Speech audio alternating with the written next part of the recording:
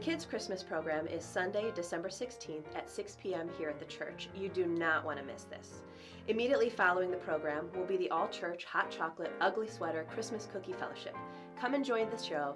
Wear your best ugly sweater, there will be prizes, and bring your favorite Christmas cookie to share. Our Christmas Eve candlelight service will be at 6:30 on the 24th. Join your Glad Tidings family as we celebrate Jesus' birth. During this holiday season, there will be no Wednesday night services on December 26th or January 2nd. God bless you. We love you. Thanks for listening.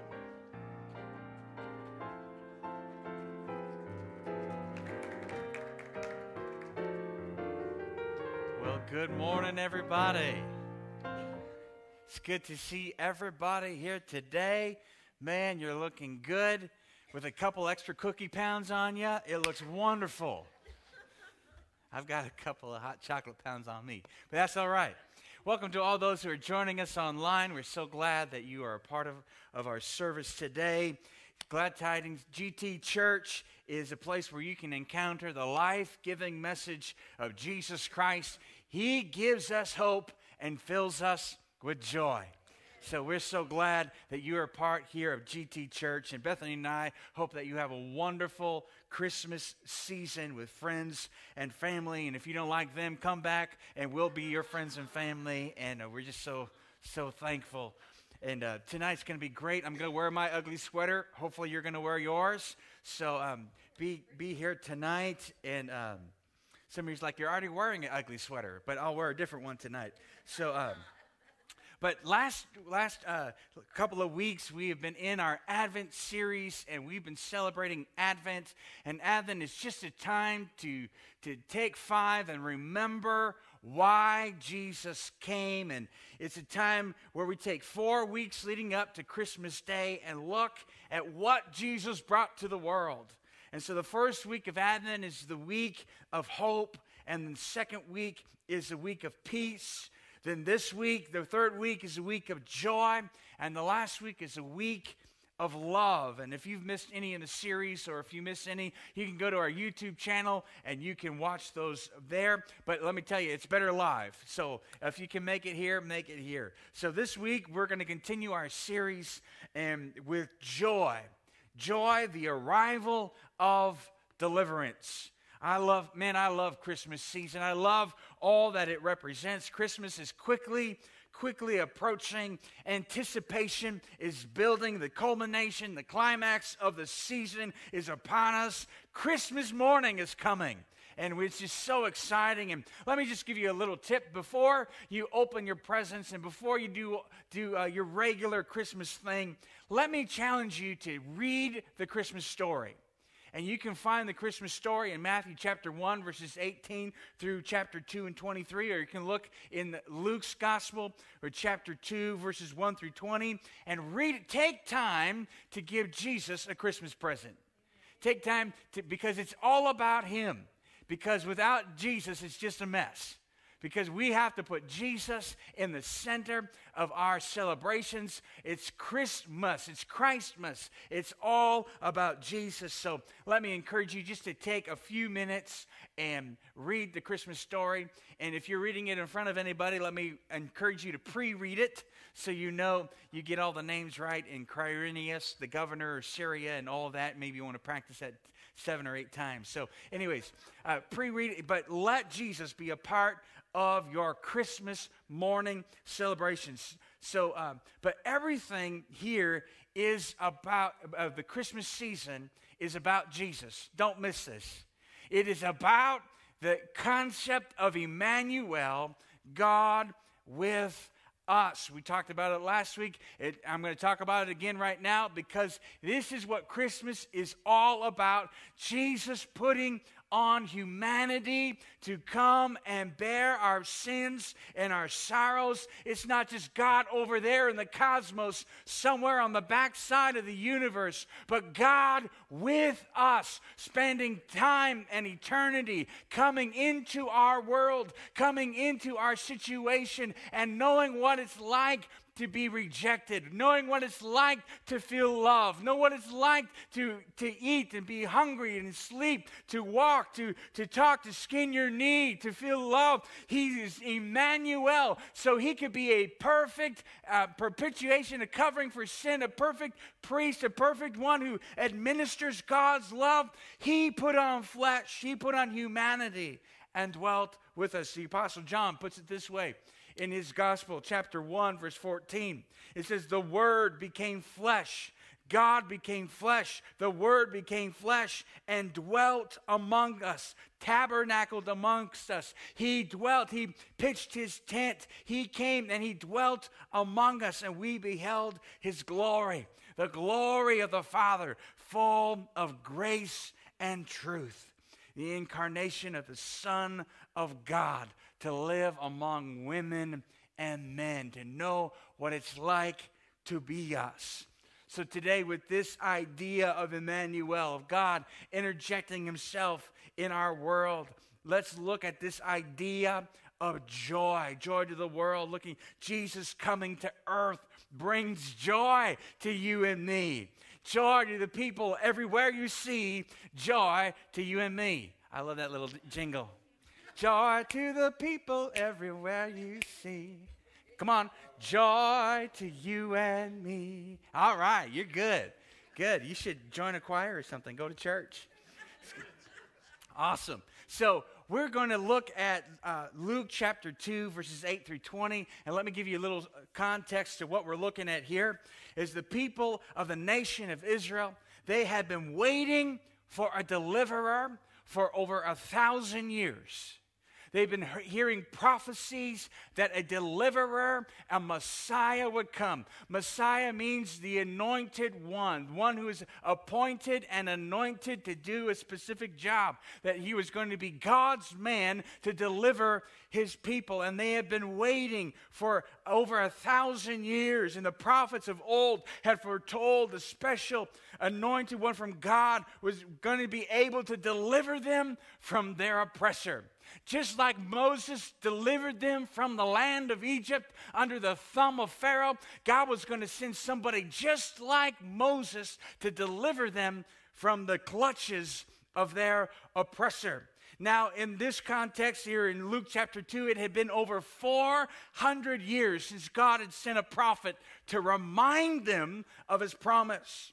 But the people had not forgotten. Even though it had been 400 years, they were still remembering that one day God's going to send a Messiah. One day, God's going to send a deliverer. Just like He sent Moses and He delivered them out of the hands of the Egyptian. God's going to send somebody and deliver us out of our oppressor. God's going to send somebody and break the backs, they thought, of the Romans. He's going to come and deliver us out of this oppression. And so, this is where we find this that one day Messiah would come and deliver them. So, this, this is the background to this text. Let's read Luke chapter 2, verse 8.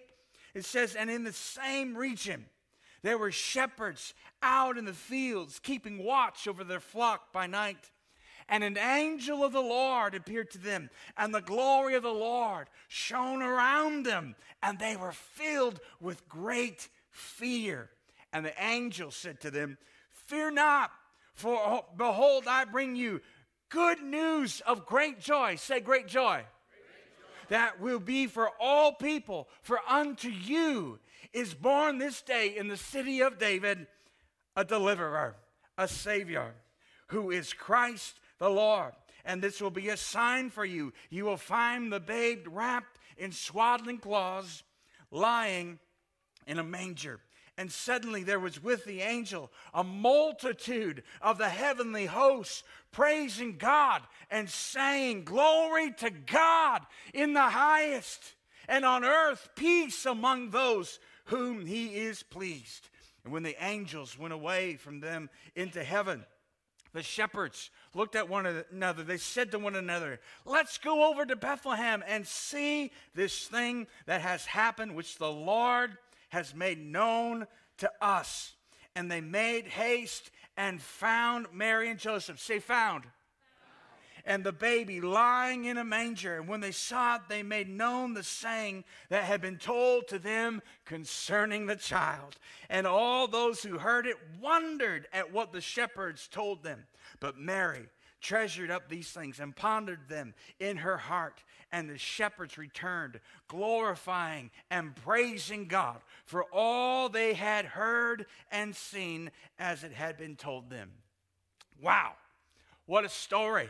That's an amazing thing that had happened after hundreds of years of waiting as waiting for the prophecies to be fulfilled, an expectation of God to send the deliverer. It happened. That's the one thing about faith. That it's got to happen. Someday it's got to come to fruition. Someday it's got to happen. And for the shepherds, that day, that night was the day the prophecy was fulfilled.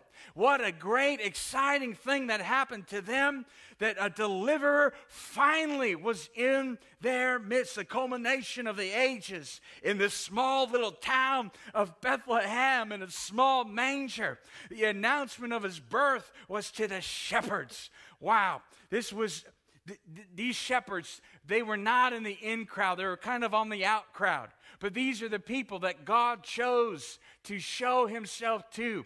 People um, who were stinky and smelly and on the backside. They weren't even in town, they were out of town of Bethlehem. But he, these are the people that God chose to announce the birth. And um, I think one of the reasons why God chose the shepherds is because they'd be comfortable walking into the stable. They'd be, comfort, they would be comfortable with the surroundings and that they would know they would know where to step if you know where I mean what I mean. And so God told, God told him and he gave him a sign, a special sign that the baby wouldn't be wrapped in a baby blanket. No, the baby wouldn't be wrapped in, the, in, in grandma's finest blanket. No, the baby would be wrapped in strips, strips of cloth that be used for cleaning the stalls and for other things. This was a crude uh, wrapping that Jesus was in. And so they knew what the angel was talking about. They probably knew the right stable to go to. They probably knew exactly where to find it. It didn't say it didn't take them, it didn't take them very long. They found Jesus. They knew where to look. And so the shepherds came and they recognized uh, the signs and they went exactly where they were supposed to go. And isn't it amazing that the, that the high priest, the angel didn't come to the high priest, that the Pharisees, the angel didn't come to the Pharisees because they were supposed to be looking for the signs. And right under the nose of the religious people, God was bringing the deliverer. Now, it didn't go without notice. I mean, 5,681 miles away, as the crow flies from Jerusalem, people in Babylon recognized the signs, and they came two years later and presented him gold, frankincense, and myrrh out of joy. And so there were signs, if you were looking, there was a sign to follow. But the people in Jerusalem were too busy, too short sighted to see what was going on. What an incredible story that God came among common men, uh, co- among people who he wanted to know. And uh, in this story, man, this story is so exciting. It's full of action, it's full of joy, it's full of exuberance. And I'd like to point out a few simple things that we can learn from this story. And they're simple because I don't do complicated, I'm, I'm simple. So let me pass on the simple things on to you. If you're taking notes, if you can, if I'm not talking too fast because I'm excited here, uh, if you're taking notes, the first thing I want to point out is God wants you to know the good news. Deliverance has come. This is what I see in this story that God didn't just quietly let Jesus be born, but He announced it. He wanted somebody to take notice. He wanted somebody to know that the deliverer had come. And not just for people who studied and not just people who knew the prophecies, but everyday, ordinary people. He wanted the working people to know. He wanted every people from all classes to know. He wants us to know that there is a deliverer and it's good news. Man, can you just hear the excitement in the angel's voice when he says, I bring you good news of great joy. He's like, this is going to change your world. This is going to change your existence. This is good news. I bring you good news of great joy, which shall be for all people, not just some people, not just people with the right last name, not with people with, with, that have enough money to go to school, but to everybody. This is good news to everybody. And God wants everybody to know that there is a deliverer. The whole point of the good news of Jesus is for people to know about it. That's the whole point if we didn't know Jesus came, there would be no point in him coming. If we didn't know about it, then Jesus would live and die for nothing. But he wants people to know about it. And so God sends his angel to tell the shepherds. And I love this story because it is filled with excitement when the, the angel gives the announcement to, to, the, to the shepherds all heaven empties out and fills the sky. They can't help but say, hey, this is awesome. This is the culmination of the ages. This is God doing something for the world. Glory to God in the highest, in the highest heaven. Glory to God to everywhere that His creation has been. And on earth, to people who his favor rests upon. Heaven empties out, and there is an excitement, there is a joy. You know it's going to be good when heaven's happy.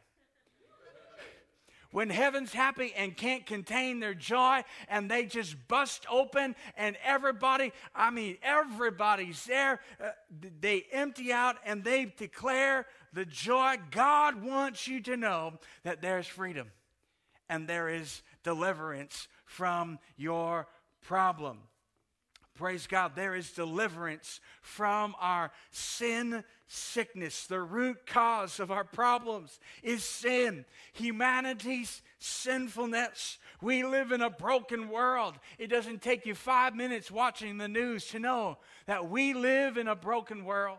We live in a broken society. We live in a broken town. We live in a broken county. There are, there's trouble on every hand, and um, there is uh, abuse done to people, and people re- doing abuse. And we live in a broken, heart-broken world, sin ravaged world. And human, human nature is selfish in nature, selfish desires. And so here we are hurting one another, broken people, hurting people hurt people, and hurting people hurt back. And so here we are in a broken world and in need of a deliverer, somebody to deliver, to deliver us out of our trouble, somebody to forgive us from abuse, and somebody to heal us from abuse.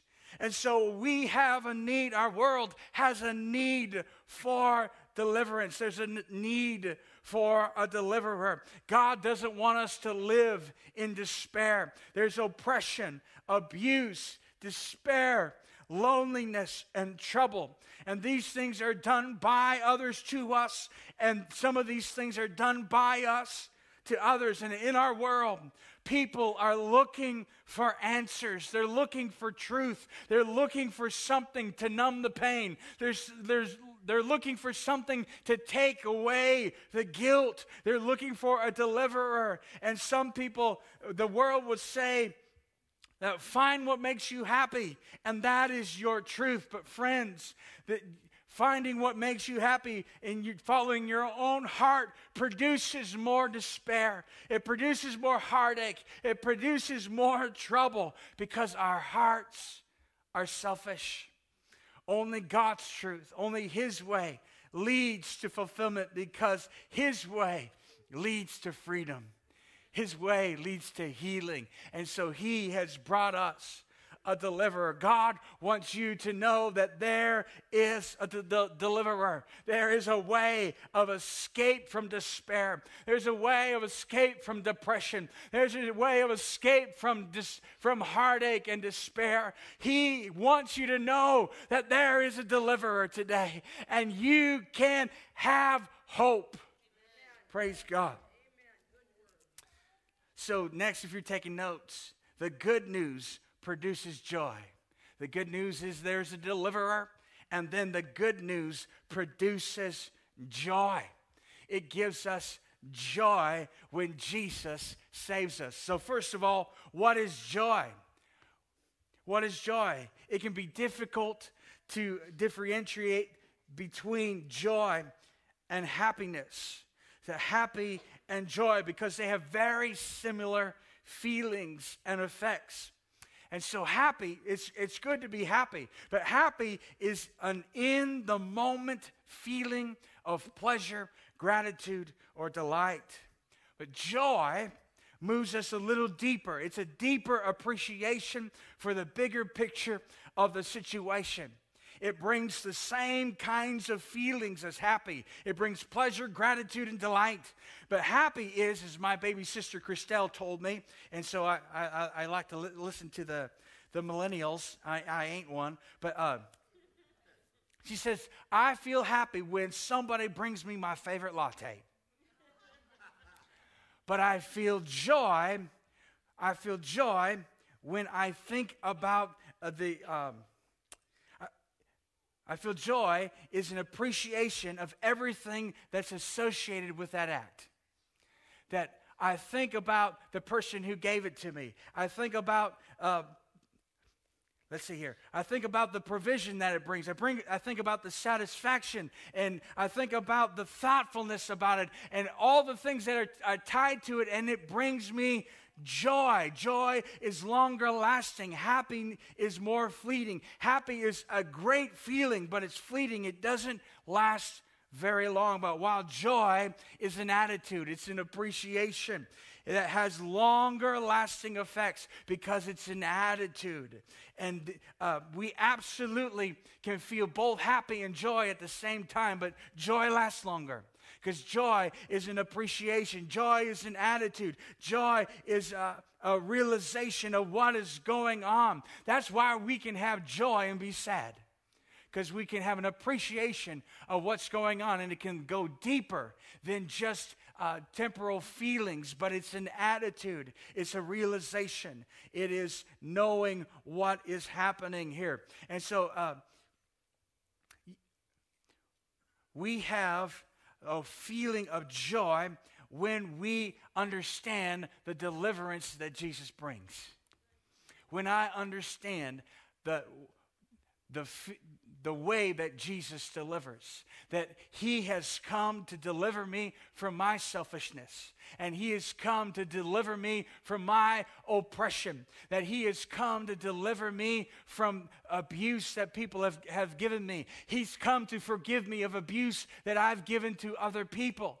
He this is what brings me joy to know that there is a deliverer, that death can't stop it, that the grave can't contain it, and abusers can't take it away. What a great thing that Jesus brings. He's our deliverer. He's our hope. He's our everlasting joy. He's the one whom the, the prophet said, uh, about those who are ransomed of the Lord. In Isaiah 51 11, he says, And the ransomed of the Lord shall return and come to Zion with singing, and everlasting joy shall be upon their heads, and they shall obtain gladness and joy, and sorrow and sighing shall flee away. Praise God. Praise God everlasting joy when we have the Messiah come, when we have Jesus come and he wipes away our sorrow and he comes and he delivers us from our sin. Everlasting joy comes on our hearts, comes in our lives.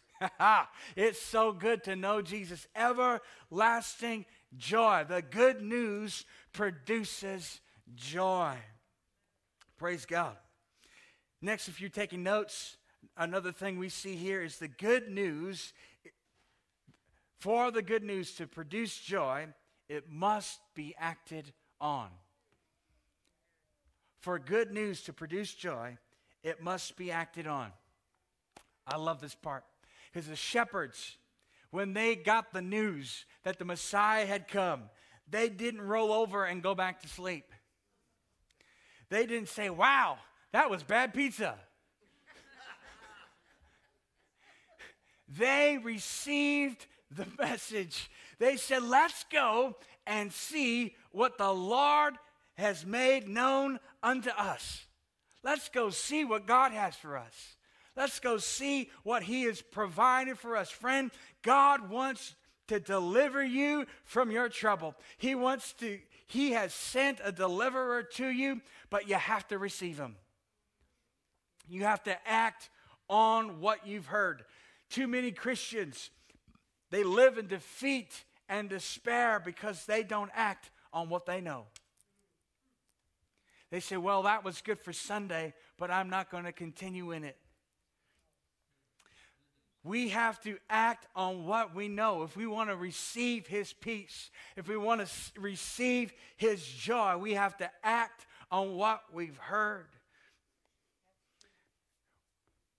What do we know? We know that God sent Jesus, and Jesus lived a sinless life so that we could be free from the effects of our own sin, that He died in our place, that He rose again on the third day, effectively canceling the power of sin and death forever.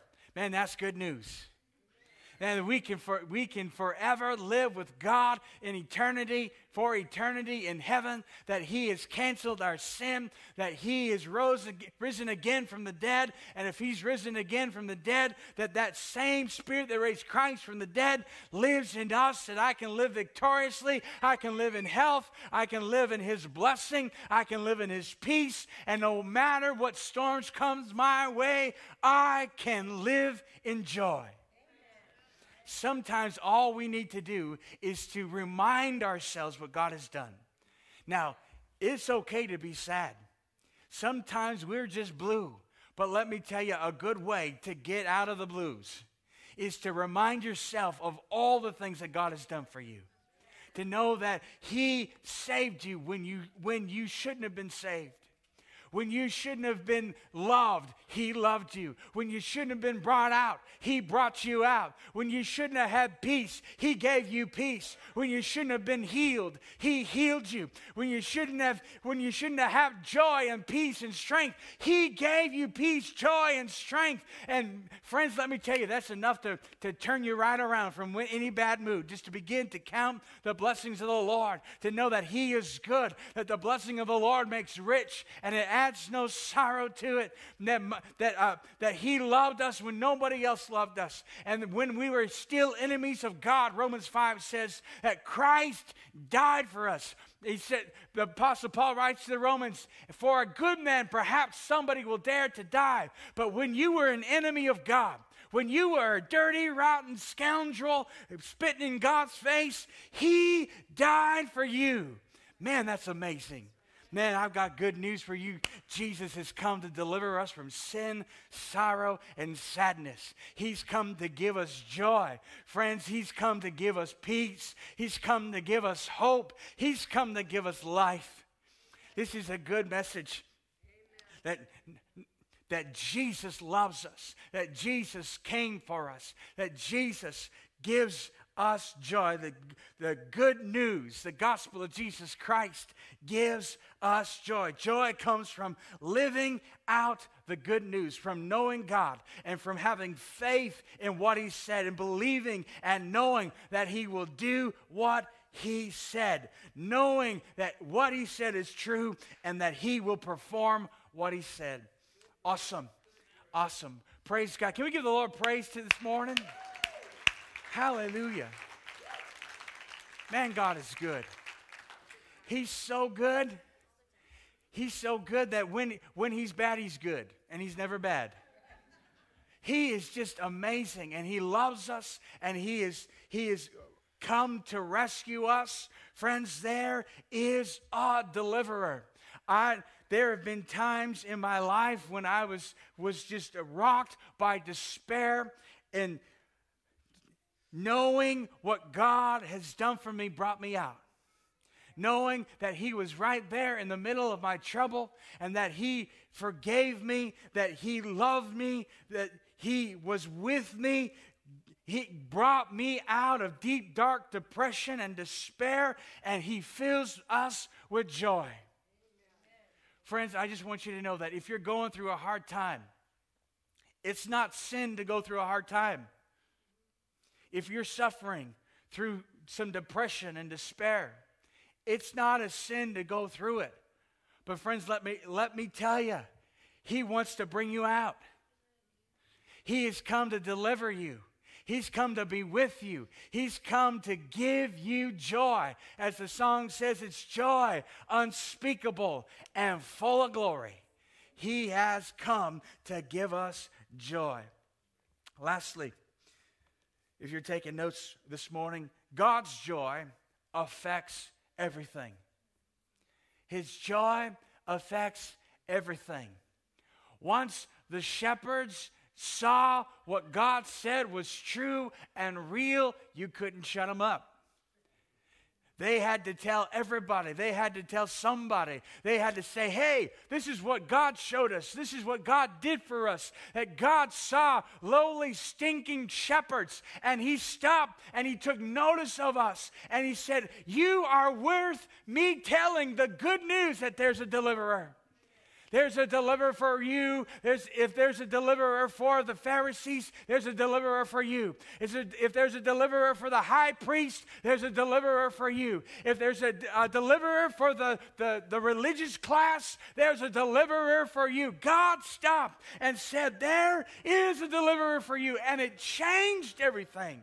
It brought these, these, these, these men who were groggy and sleepy in the middle of the night, it changed their whole perspective and they felt the joy. It affected everything around them. For the Christian, horrible, horrible things can come our way, and they will and they have. But when they come, we can still have joy.